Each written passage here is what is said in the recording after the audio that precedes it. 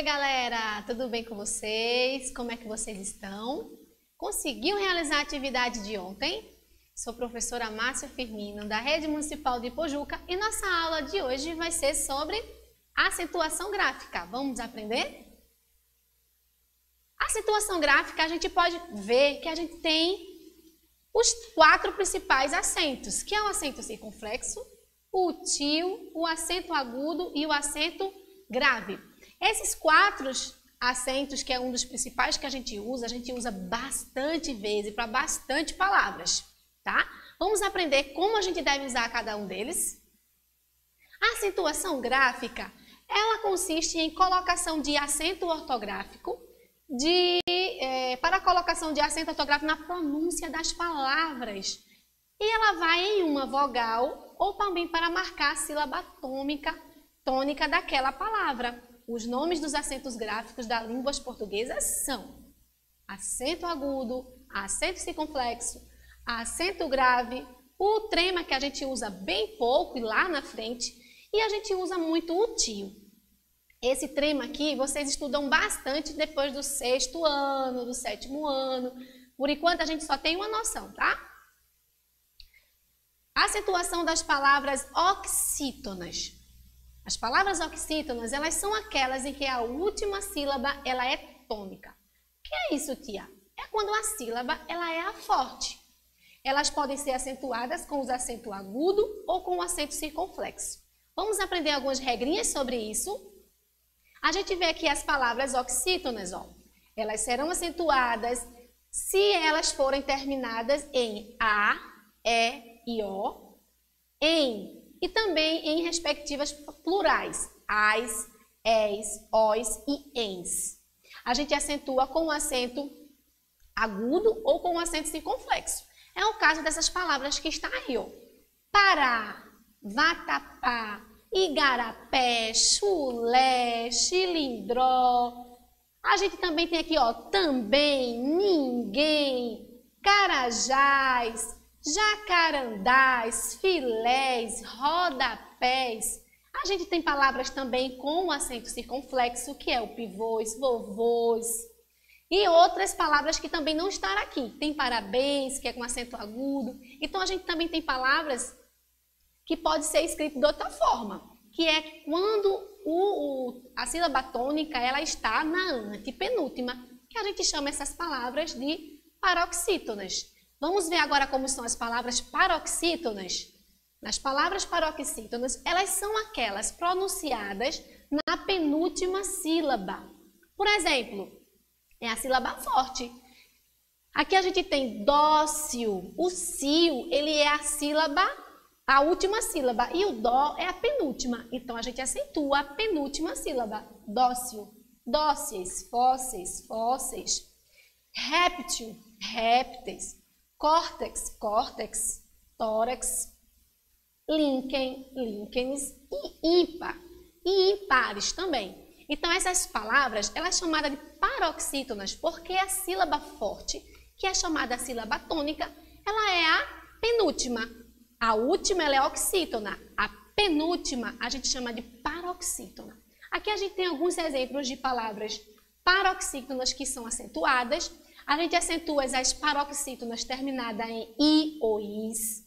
A gente é, acentua as paroxítonas terminadas em us, em r, em x, em n. E aqui a gente tem algumas palavras, por exemplo, terminada em i ou em is. Pode ser táxi, lápis, biquíni. Então, são palavras que a sílaba forte é a penúltima e elas são acentuadas. Tantos podem ser o acento agudo como o acento circunflexo, como é o caso aqui do bônus, ó. Terminado em us, bônus. Então, ele é acentuado com o acento circunflexo. Vírus, que a gente também vê aqui, que é acentuada com acento agudo. É, terminada em X, como tórax, ônix.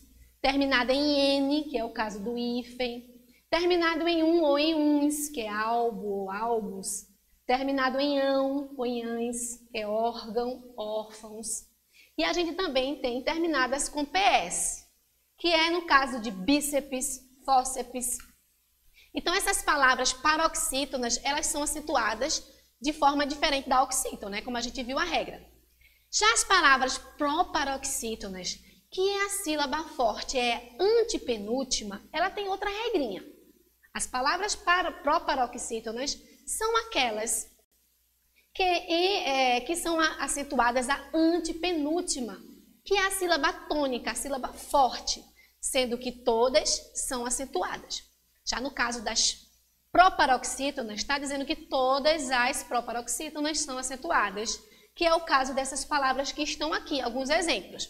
A gente está vendo um exemplo de benéfico, capítulos, estático, itálico, máximo, monócido, naufrago, ônibus, propósitos, próximos, telégrafos. Então, todas as palavras proparoxítonas, elas são acentuadas. Então, a gente tem que observar bastante onde está a sílaba forte, onde está a sílaba tônica, tá? Nesse exemplo daqui, a gente pode ver algumas situações de oxítonas, paroxítonas e proparoxítonas. Vamos lá.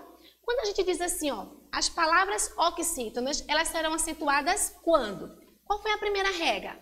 Ó, a primeira regra está dizendo que palavras monossílabas terminadas em A, E, O e S, elas são acentuadas, tipo pé, tipo pó, tá? A segunda regra, palavras terminadas em A, O e mens por exemplo, homens, não, mens não é que é homens, não. A, O, N e ens. Então, essas palavras terminadas em essas letras daqui, elas também são acentuadas. Tanto pode ser acentuação circunflexo como um acento agudo. Nas palavras proparoxítonas, elas são acentuadas de acordo com essa regra. A primeira regra são palavras terminadas em L, N, R, X, um, uns, an e ão, PS, I e U, elas são acentuadas, tanto com acento agudo como circunflexo, e as proparoxítonas são todas. Então, todas as palavras proparoxítonas, que a sílaba forte é a antepenúltima, elas são acentuadas. Só que tenha atenção, palavras derivadas de advérbios ou adjetivos não são acentuados. Como assim, professora? A senhora não disse que todas as proparoxítonas são acentuadas, mas se a palavra ela for derivada de advérbio ou se ela for adjetivos, elas não são. Por exemplo, avidamente, de ávido. Ávido ela é uma palavra que ela é acentuada. Ela é uma proparoxítona acentuada no A com acento agudo. Mas a palavra avidamente, que já é derivado de ávido, ela não precisa do acento. É descartado é igual debilmente. Debilmente é uma palavra que vem de débil. Então, ela é adjetiva, ela vem de débil. Só que essa palavra, ela não precisa do acento. O acento, nesse caso, ele também é descartado. Facilmente, né, que a gente sabe que fácil tem um acento agudo, mas facilmente não precisa. Então, as palavras que é adjetivas ou derivadas de advérbios, elas não precisam, tá? Lembra disso. É o caso de lucidamente, que é de lúcido. É o caso de somente, que é de só. Então, a palavra só, ela tem um acento. Quando ela vem para somente, perde o acento, não precisa. De único, que no caso é unicamente, também perde o acento quando ela é derivada. De cândido também, candidamente, perde o acento, circunflexo. Neste caso, romanticamente também perde o acento de romântico. Então, a gente tem que observar as, as palavras derivadas, tá? Que elas perdem o acento. E o desafio de hoje, eu quero que vocês prestem atenção para fazer uma tarefa bem legal, tá certo? Que tal a gente fazer uma lista de palavras conhecidas que são acentuadas e classificá-la como oxítonas, paroxítonas e proparoxítonas? Eu vou procurar palavras, pesquisar palavras que têm um acento e depois eu vou fazer um, uma listinha. Quais são palavras? Qual dessas palavras daqui ela é uma oxítona? Qual dessas palavras ela é uma paroxítona? E qual dessas palavras elas são uma poparoxítona? Depois que vocês fizerem essas listinhas, vocês mostram para a professora em casa, para a mamãe, vejam o que você aprendeu nessa aula de hoje, que tia vai ficar muito feliz, tá certo? Na próxima aula a gente vai estudar coisas bem interessantes E vocês precisam saber o que é uma palavra oxítona, paroxítona e proparoxítona, tá bom? Um beijo grande para vocês e até a próxima aula.